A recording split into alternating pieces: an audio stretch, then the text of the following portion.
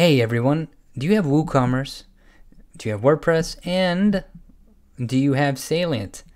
These three, how do I add a, a button to any element, but also make it to where they can, um, a, a person can click on that button, like order now button in a pricing table, um, and actually it will add to cart.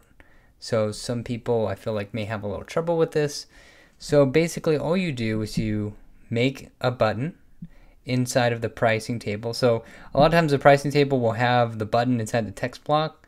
You don't want to do that. You want to take that out of the short code. You want to take the button out of the short code.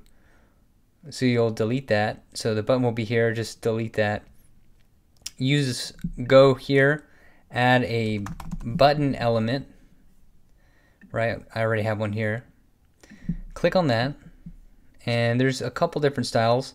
What you want to do is you want to find your product ID and then you want to add uh, and, and create this kind of URL.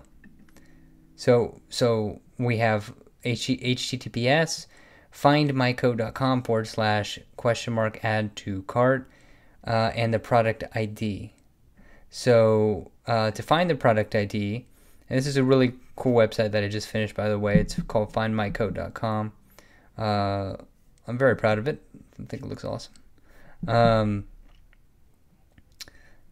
so you go to your dashboard, and you go to products,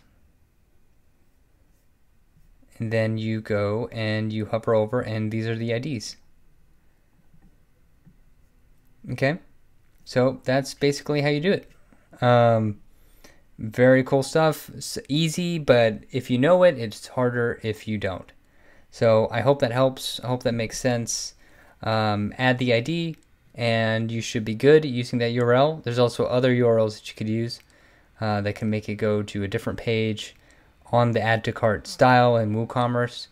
Um, and so I can do more in another video about that. But I thought that was a really cool thing to know um, right off the bat or to give you some quick advice on.